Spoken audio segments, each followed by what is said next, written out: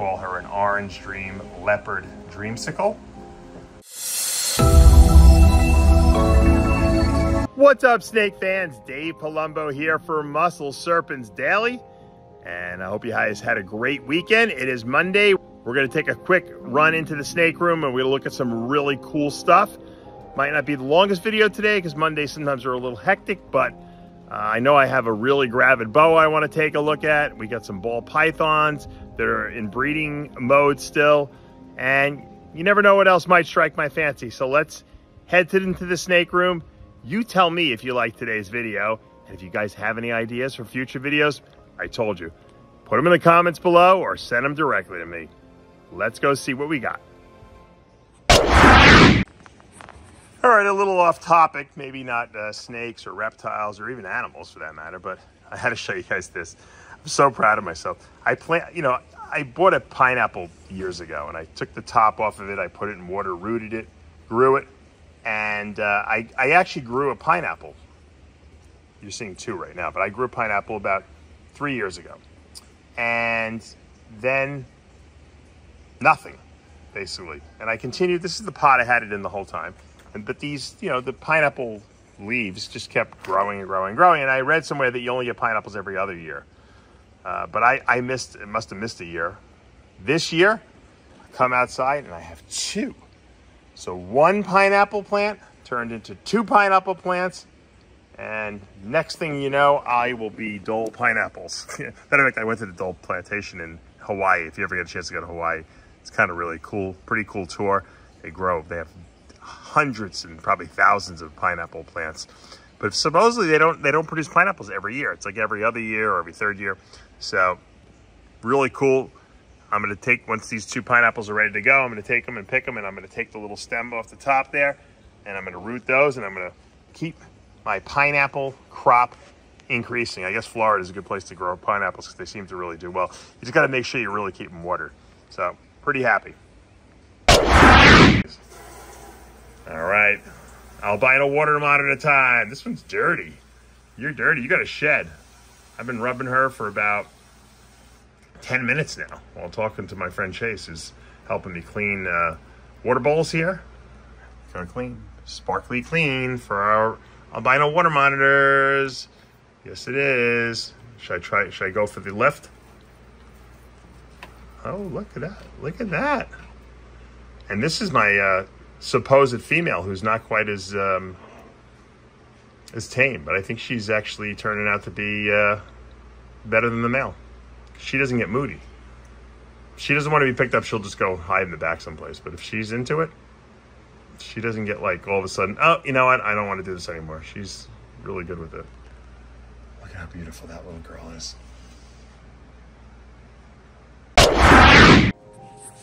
All right, every every couple days we're tracking this girl. She's back in the hot spot, waiting uncomfortably. There's there's the the daddy. Uh, will she have slugs in her? Will she have babies in her? That is the question we need answered. So far, I've never gotten a uh, live clutch from her. And once again, this year we moved her into the cold room or the colder room. And we're hoping that's going to do the trick. But she's beautiful, obviously. She feels she feels a little mushy, which mushy is good. Mushy usually means there's babies in there. When they feel really tight, like uh, and but yet they're still sitting on the hot spot. Usually that usually indicates slugs, at least to me. I don't know if everyone else feels that way, but that's usually the trend I see. So beautiful super fire. I think it's going to be another like two two weeks the most. All right, here's our sharp albino fire diamond that we bred to a fire diamond het sharp. Uh, I wasn't this, I've had these guys cohabitated for two years now, and I have gotten nothing. Now, I did move this this girl and this boy to a big vision cage in my colder room, my Australian room, just like I did the Super Fire I just showed you. So I'm hoping, you know, maybe we get something. You know, maybe uh, this is the, the trick. She is sitting on the heat. Um, I don't know if I'm so sold on the fact that she's got babies in her, but she is on the heat, and they don't usually like to sit on the heat, always. So and I didn't just feed her, so. So this could be a good sign. We'll have to just keep an eye on the situation and see uh, see what happens, you know. Hopefully uh, we have a bunch of uh, white snakes. That would be great. And if this one hits, we can get white snakes with red eyes because they would be albino super fire diamonds, which I've never produced. Well, I've never produced anything for the fire, so it would be cool to get both of them in there. That would be uh, really, really cool. All right, a little update on our blue tongue skinks. This is our ivory. Some people call it a hypo. I got really lucky. Mine really, really stayed pretty pattern free. As it's getting older and it's getting bigger, it's it's it's really, really white. It's got a beautiful bluish tongue. It's a little lighter than the, the normal ones, and pretty good. I was just saying how what a great personality this this guy's got. Although he just he did take a little chunk out of my hand before, but I think it was because I was I was talking and neglecting him. really cool. One of my favorite animals in my collection. My white blue tongue skink. It's really, really nice. If I can get albino into this, holy mackerel. If I can only get the blue tongues to breed, I can't get my blue tongues to breed. And I don't, you know what the truth is? I don't even care. I just like to have them. I only, I have about five of them, and I, I'm, if I just kept them as pets, just to play with them, I'd be happy. I would like to see if I can get them to breed, but it's not, it hasn't been in the cards for me so far and I've done everything. I think I've done everything right. I've roommated him, woke them up, introduced them. No one wants to breed. All right, little update. All right, I think I think we got a nice lock here. on. This is my Super Blade Clown, and she's looking really beefy. Actually, I'm kind of happy, to be honest with you. And that's a Super Nanny, uh, that male. So we're to try to produce some Blade Nanny het clowns. So we can produce some nanny clowns next year, maybe, or the year after that. So we'll see how this turns out. Looks like they're definitely uh, liking each other. Good luck. All right, another good luck from a GHI Hurricane Het Clown female we produced here in 20. Uh, she's a little on the small side, but she's she's definitely up, up to weight, and that's my GHI Mojave Pastel Clown male. And that that would be some some pretty cool stuff. If we can produce some Hurricane Super GHI clowns, that would be cool. So we'll have to see. Obviously, she's had clowns, so only 50% of the baby is going to be visual clowns, but potentially really good litter. And I put this um, male in with her because she's a you know virgin. She's never bred yet for me and he's really experienced. He's he he gets the job done. This guy, I've, he's probably sired 100 clutches for me. now, probably like 50 clutches for me, probably since I've gotten him. Great, great little boy. And we'll finish up with this gorgeous girl that I've shown you before. I, one of my favorite in the collection, I gotta be honest with you. I, and I didn't produce her. I got her in a trade.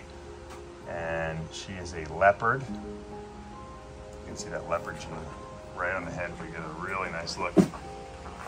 She's lavender albino. You can see that those purples there. She's orange dream. See the orange saturation here. And she's pied. So pie, lavender pies are known as dreamsicles, so we can technically call her an orange dream leopard dreamsicle. Really, really pretty. This is, I mean, this is, there's really not much you can make to, do, to make this better, to be honest with you. I mean, there's a couple things we can throw in here, but this is pretty spectacular in and of itself. And uh, I, I, just love, love having her just because she's so beautiful. Really nice. Look at this girl. Let's pull her out here a little bit. Get all her splendor into the video here. She's almost got like, uh, look at these little white dots here. Kind of cool. Very cool. I love her head. Head is great. All that little lavender purples in there. All right, guys, that's going to do it for today here at Palumbo's Pythons and Boas. Hope you liked today's video. We have that super fire diamond boa that looks like she's going to explode. I, you know, I, I pray every day that she that she has. There's a couple things I pray for in my collection. I pray that my olive python will have a clutch of eggs this year. Uh, I only saw one lock from them, but it, that's one lock more than I usually see. And you know they've been outside, so I, I pray for that every day. I also pray for my super fire diamond that that I get some uh, leucistic boas. I have never produced any. Uh, if I can crack that nut and uh, and figure it out, and then validate the fact that maybe I was just keeping them too warm, and that those Amarali boas just need to be colder, that would make me feel really like that would make me feel like I actually know what I'm doing, or at least I have a little bit more knowledge than I thought I had.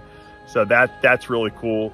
And of course, you know, water monitor training continues, blue tongue skink training continues, and it's all fun here at Palumbo's Pythons and Boas. If you guys like what you see, make sure to hit that subscribe button, turn on those notifications, hit that like button.